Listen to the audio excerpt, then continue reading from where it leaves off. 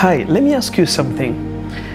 Are you scared about reaching the age of 30 or 40 or let's say 50?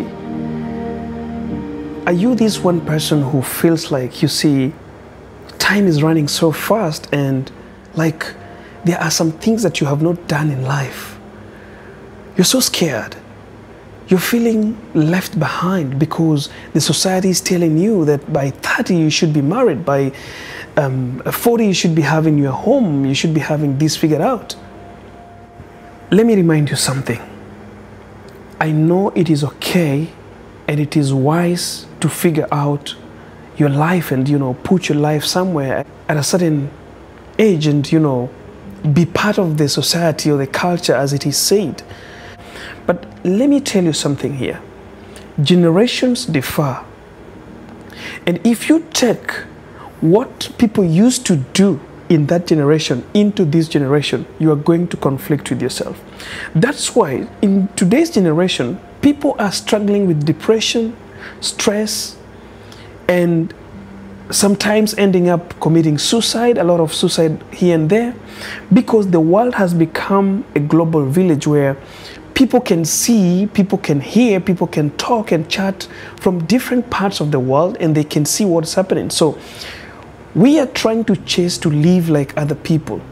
You're seeing someone who was in the same class with you getting married or starting her business or his business and you know uh, expanding it and buying some cars driving some cars and staying happily and now you are struggling also asking yourself why you're not yet at that level. I want to tell you something here. It is great to figure it out, but you should never, ever put yourself in prison of wanting to be like some other people or wanting to be as the society tells you at a certain age just because you want to fulfill their requirements or their needs or their belief you get into this kind of a belief and you prison yourself. There are so many people who are depressed today because they have entered into a certain kind of belief trying to figure out what is supposed to be figured at 30 or at 25 or maybe at 40 and now the burden is on their neck, the burden is on their back, the burden is on their head, and they cannot take the burden away because they have already reached there. I want to tell you something and remind you something. Your life has been programmed and planned by God. You just need to trigger the energy that you're supposed to put onto anything that you do so that you get everything at the right time, designed by you. Stop designing all your goals with the beliefs of a society, with the beliefs of the people you live around, with the belief of a certain community.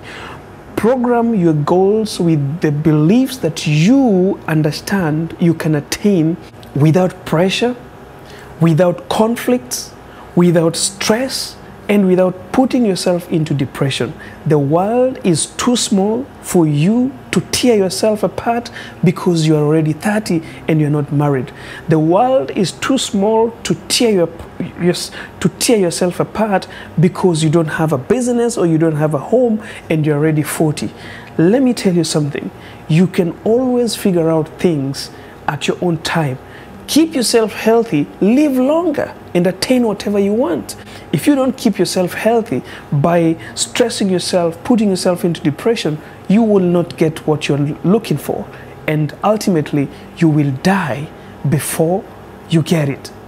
Keep yourself healthy, remove stress, remove depression, live longer, and attain what you want to attain. My name is John Gora, I'm a life coach. If this was your first time on my YouTube channel, don't forget to subscribe push the notification bell so YouTube can remind you every time I post videos here. And remember to keep smiling and come back again in my next video.